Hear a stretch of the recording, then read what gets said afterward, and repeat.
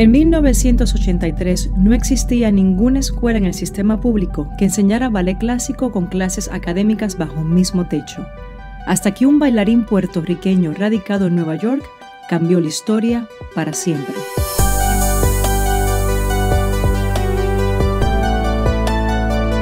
Estudiantes de diferentes estratas sociales, de diferentes lugares, se juntan aquí ellos se llevan súper bien sin ver esas diferencias. Uno puede ser parte de cualquier otro colegio, escuela, pero ser parte de una escuela especializada es algo grande. Tú vas a cualquier sitio y dices, ¿en qué escuela tú estás?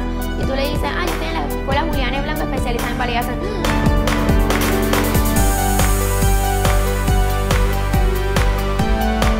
Después de todos esos ensayos, después de todas esas horas de, sudor, todos los años que tuve en la Julián, era llegar finalmente al escenario.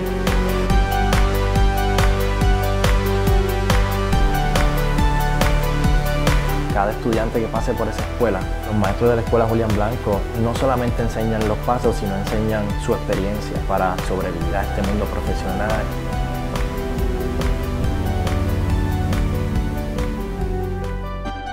El mejor momento es saludar, porque ahí es cuando el público realmente da el aplauso final y te deja saber que lo lograste, lo hiciste, lo terminaste y estás ahí.